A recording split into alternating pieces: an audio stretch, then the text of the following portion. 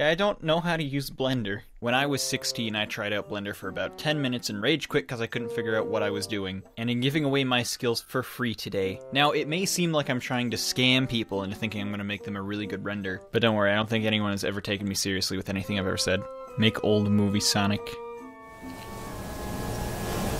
And the unfortunate truth of the matter is it's probably this one. And if it's not, sorry, Mark. Actually, I'm gonna I'm gonna hold my apology for a few seconds because once this is done, I'm, uh, I'm gonna apologize about five more times, most likely. We're gonna try really real hard here for a second. All right, we're gonna start out with the general head shape, and we'll work on the quills and spikes and ears and stuff. We'll just pull those from the clay. Oh, this is movie Sonic, Peter. Shut up. It does have like a little bit of a pointy chin. Pretty big forehead for the, the quills to protrude from the back of. Alright, that's not bad for the general shape. Eyes are too close together. That would make it look okay. Yeah, we go. Something like that. Looks a little pixely right now. I don't know if I could have avoided that somehow. It's also movie Sonic, so I'm really not that picky. I'm bringing terror and evil into the world. I don't see why anyone would want this to look good. Awesome. Alright, now we gotta go to the back of the head and do the spikes. Elastic Deform looks like it could work. We're gonna turn the strength way up, turn the radius way up, and just... Okay. Yeah. nah. Try some pinch and pull. Yeah, I think that's the better way to do it. I just don't like that I'm working at this as this thing is staring really nowhere. It goes way in there. Just create create a little butt crack on the back of his head, you know? I gotta give him more of that chin. There it is. Now it's starting to capture the the the magic. Sorry, the dark magic that is this. I'm going to try. So uh, no. Grab it and stretch it out and every which direction. Uh huh. Stretch it out into a full fledged bust. Upper body, arms, and all that. There we go. See? Kind of does look like it. He needs a little more chin definition again. Very important for Sonic Movie Sonic. You gotta get that chin definition. Alright. I'm gonna say good enough. Reasoning being demons. Get to that texture paint. I figured I was doing it upside down. They did invent this color for the Sonic movie. There's little white dots popping up all over the place uh, because I don't actually know how to 3D model. So somehow some of these pixels are also these pixels, and I know it's some kind of mathematical equation. I'm not going to try to figure out what it is. He's looking up a little bit, just a little bit cross-eyed, a little bit forward. That's my best attempt at that. Good grief, would this ever look creepy if it didn't have eye shines? Am I right, guys? That's all Paramount did when they redesigned the Sonic is they just gave him eye shines. It just way better. Right off the bat, we'll get the nose a regular color before I die. You can see little black spots popping up over here. Sonic's nose is his eyes, as is canon in the Sonic movie. One thing I noticed too is he actually does have a little bit of eyeshadow going on here. Eh, you know, that does kind of make it look like Sonic is wearing makeup. And I don't like that concept very much. Nothing against makeup and or Sonic's wearing makeup. But it just looks bad. And I don't think that should be something argued about. I don't think that should be an unpopular opinion. And now it just looks like lip- lipstick. This is just Sonic wearing makeup. Uh, we're gonna change that a li- Oh, we're gonna change that because generally, old movie Sonic is kind of known for having them teeth. just it just screams meow. okay. Why does this look better than this? Someone explain that to me. And that's it. Oh. Oh. I don't know which one looks better, to be honest. Two very different creatures. I would be sorry if I could still feel anything after making this. Honestly, doesn't look as bad as the original. Thank you. I wish I were blind. There's lots of good requests on here, but I think this is probably a good option. Now, of course, we start out with a ball, but those of us in the blender industry don't call this a ball. This is called a sphere, because I sphere what it may become. I really do need to be canceled. Bally things on the side there. Kinda hard to tell where the legs start and end, so I'm just gonna wing it and see how that goes. I mean, that's not bad. I mean, it does look like the image. Okay, this is actually not too bad. I thought I was gonna get on here and make terrible abominations. And, okay, this actually looks a little creepy now. Boom. Look at that! It's not ugly. Something came from my hands that isn't ugly. There's some more darker uh, things above the head and the butt cheeks. Yeah, this is accurate. Frog, frog, frog, frog. In similar fashion, Dave Ace hitting me with a not terrible looking Sonic. Now, my opinions on Baby Sonic are somewhat controversial. I'll keep them to myself. But at least out of respect, I'm not gonna attempt this because it's gonna end up looking something like this. This looks like something maybe I could accidentally make, but not purposely. Oh my gosh. Big Mouth Kirby, my old friend. Scale it, make it a little bit wider, just because that's how Kirby be in this image. He's a bit of a wide boy. Blobs that stick out like so. Ugh, don't like. Don't like. Too lumpy. I'm gonna call good enough good for now. And what we're gonna do for this one, a little something special, we're gonna actually make an interior. Not just gonna color it so it looks like there's a hole. We're going to put a hole in this Kirby! In a not so angry way. Oh yeah. Yep. This is gonna turn out fantastic. That's a deep cavity right there. Oh, he does have a tongue. Okay, we're gonna try to do that. Awesome. Very realistic looking. This is weird because it's like you can kind of see where his mouth stops and the inside of the mouth begins, like where his skin turns to mouth skin. And that's not supposed to be a thing with Kirby. Also got a little more uh call that fragmenting. We in the we in the blender business. There's a lot of fragmenting. The amount of ting that is fragment based is high right now. If only we would have turned down the hue opacity. But we're beyond that. Alright, we're going we're going in the mouth, boys. Never have I felt so much like a dentist. Blender should really advertise that on their website. Now you can feel like a dentist. You could call this more fragmenting. Let's just say he was eating some chocolate.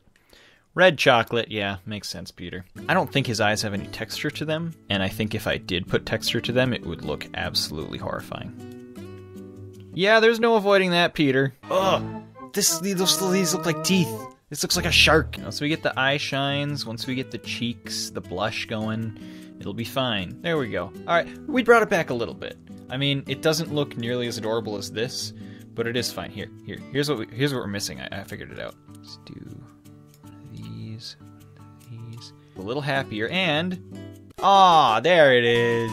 See now he's he's all cute. Not really, but I mean. And of course, if any of you guys want the the color.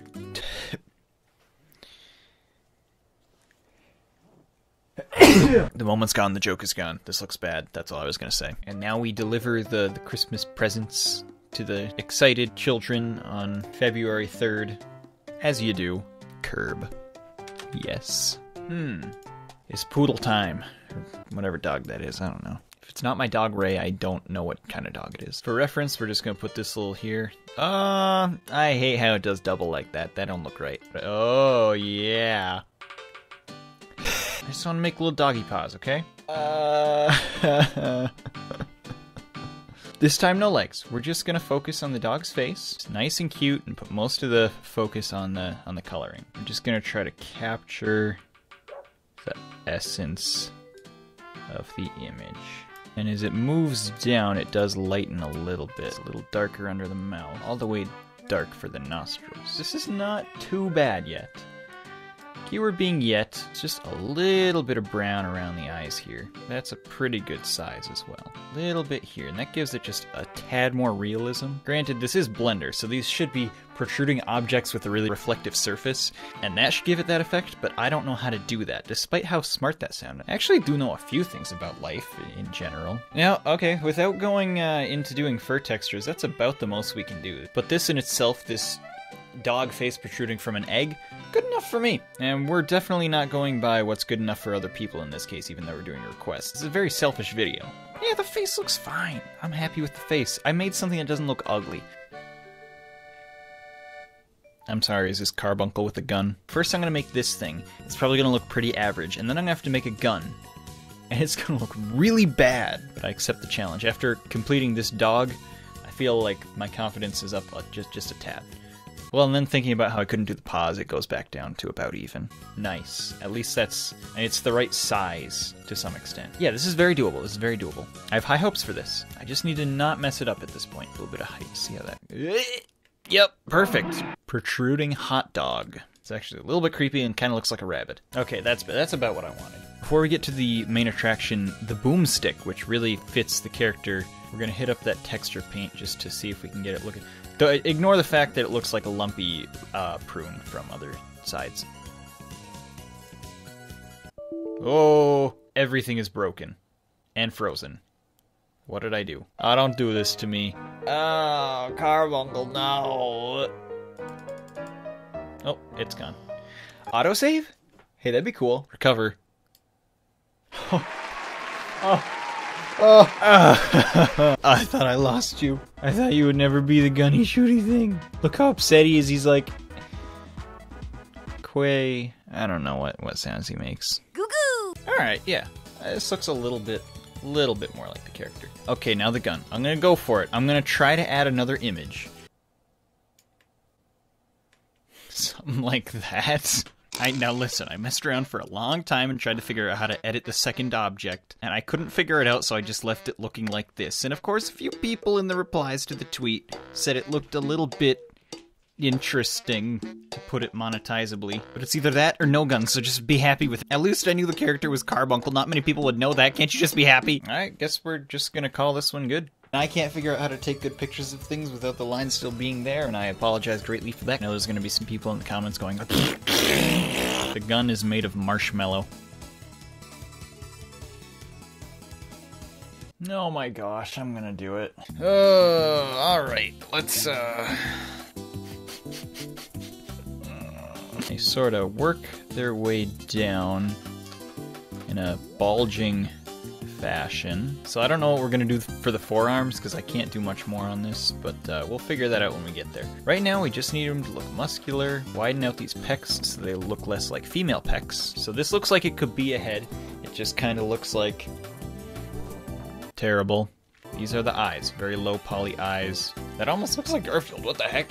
I mean, super low poly. Again, I'm just tearing from this endless ball of clay. You gotta make sure that there's a lot of polys in, in the chest area. So the head is a it's a fair sacrifice. It is a somewhat well-known fact that when your body is toned in this manner, when it's so loaded with protein sacs all around your bones, then your skin normally turns orange. And so, so Oh, this looks great. What do we do about these forearms, you might ask? Very important part of Garfield that kind of looks like a mixture of Conker and Sandy. Go to object mode and we're just gonna add forearms.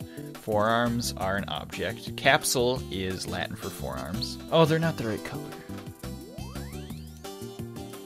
Ooh. Ooh. Garf. He's wearing forearm gloves. Now nobody will know that I am simply not that very good at Blender. You know, we've made some pretty good creations today. And this. And I'd say we've come a long way since uh, Mario with no pupils and scribbles all over his face. My Twitter media is a little messed up now. As always, my apologies if I didn't get to one that you put up. I've been recording for just under three hours and managed to do six of them. Considering there were 840 replies, would have taken me 378 hours to do all of them. I'm gonna be a little bit lazy at this video and stop at six. And that's it. That's another program that I have learned. Tune in next time when we learn how to use calculator.